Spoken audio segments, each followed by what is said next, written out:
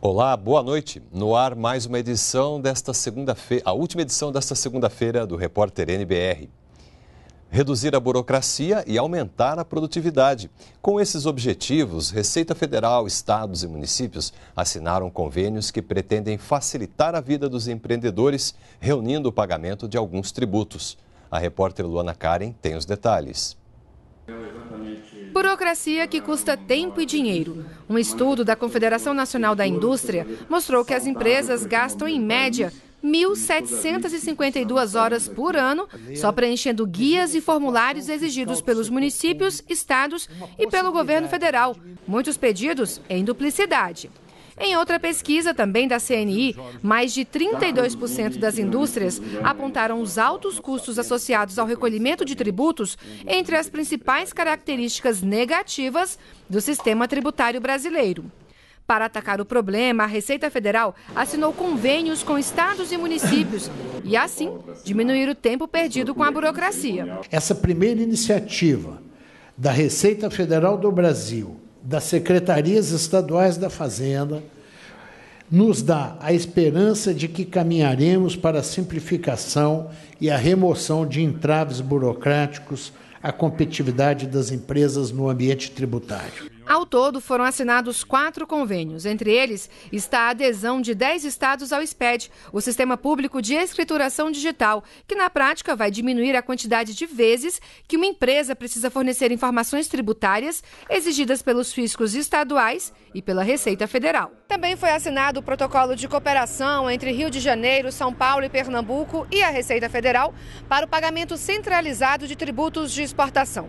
A medida vai permitir que as empresas desses três estados estados paguem o imposto sobre circulação de mercadorias e serviços, o ICMS, junto com os tributos federais.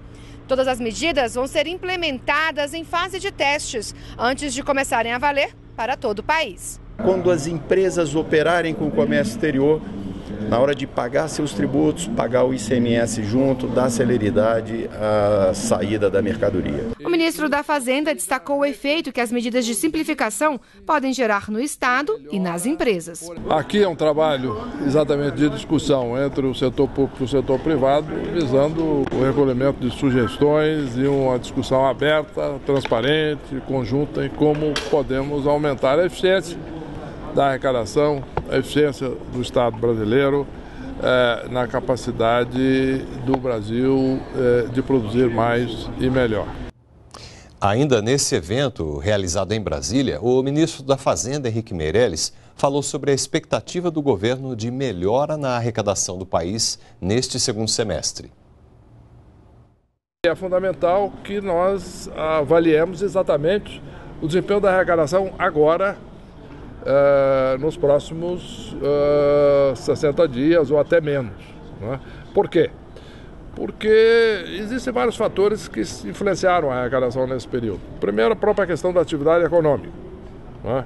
Uh, quando começou o crescimento do país, logo no primeiro trimestre, ele começou muito impulsionado pelo setor agrícola, que paga menos imposto uh, e gera menos arrecadação do que o setor comercial, industrial e até. Agora nós já estamos vendo uma recuperação mais disseminada da economia. Isso vai ter um efeito importante na arrecadação. Segundo, nós tivemos uh, um período de grande absorção de prejuízos uh, do ponto de vista tributário, prejuízos esses ocorridos em 2015 e 2016 por parte de empresas e bancos através da formação de provisões, que impactaram a receita também no primeiro semestre e que agora já esperamos que haja uma recuperação. Além do mais, gerou-se uma expectativa que julgamos equivocada por parte de muitas empresas de que seria aprovada uh, seria aprovado um refis uh, com um perdão quase integral de juros e multa e etc, onde os devedores seriam excessivamente beneficiados e ainda sobre o novo Refis, Programa Especial de Regularização Tributária, o ministro da Fazenda falou que o governo defende mudanças no parecer aprovado pela Comissão de Senadores e Deputados. Meirelles disse que espera um programa mais justo e equilibrado. deverá ser apresentado um outro relatório visando, por um outro deputado, visando é, fazer um, um, um, projeto mais equilibrado e, de novo, mais justo. Em última análise, o projeto visa, é, ou deve visar, o refis deve visar, é, dar a possibilidade, sim, aos devedores de pagar as suas dívidas, etc., mas também preservar a arrecadação do país. Não é? Ele não pode incentivar as empresas a deixar de pagar imposto, porque senão o nosso desequilíbrio fiscal vai se estabelecer no país e nós teremos um desequilíbrio permanente com consequências graves do ponto de vista do crescimento, né, voltando recessão, etc., com desemprego, etc. Nós temos que é, prosseguir no trabalho de ajuste das contas públicas, que não é só despesa, receita também. Né? É importante receber. Uma nova plataforma de divulgação do Brasil com foco no visitante estrangeiro.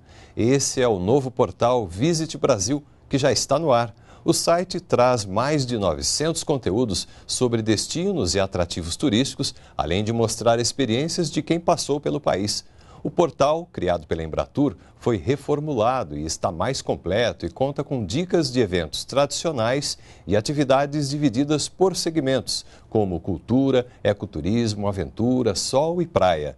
A plataforma está disponível em português, inglês e espanhol.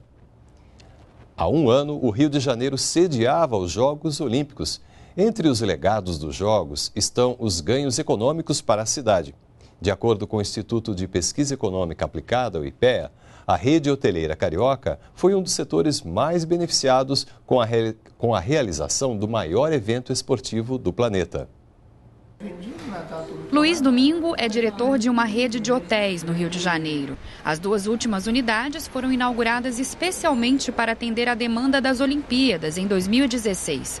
Um bom ano para o setor hoteleiro. A ocupação foi 100% e todos os eventos que tiveram nas unidades correram é, 100% sem nenhum tipo de problema. E não foi só o setor hoteleiro que saiu ganhando com os Jogos Olímpicos. Um estudo do IPEA, que analisa os primeiros impactos após grandes eventos, mostra que se não fossem as Olimpíadas, a grave crise financeira que hoje toma conta do Rio de Janeiro teria acontecido antes e com mais força. A quantidade de recursos que aportou dos turistas e do Comitê Olímpico, os investimentos, deu um fôlego adicional a cidade e o estado. O Brasil investiu 40 bilhões de reais na preparação das Olimpíadas. Durante os Jogos, a ocupação média em bairros como Copacabana e Barra da Tijuca foi de 95%. Para acompanhar os investimentos do projeto olímpico do Rio, o estudo do IPEA teve como base três instrumentos principais a matriz de responsabilidade, documento sobre os compromissos assumidos entre governo e Comitê Olímpico Internacional, o plano de políticas públicas, que inclui projetos de infraestrutura para ampliar número de pessoas beneficiadas pelos Jogos, e o orçamento do Comitê Rio 2016, destinado aos gastos com logística e operação dos Jogos. Os Jogos Olímpicos e Paralímpicos Rio 2016 contaram com a participação de mais de 11 mil atletas, quase 26 mil jornalistas credenciados e 3 mil árbitros. No período, o país recebeu mais de um milhão de turistas.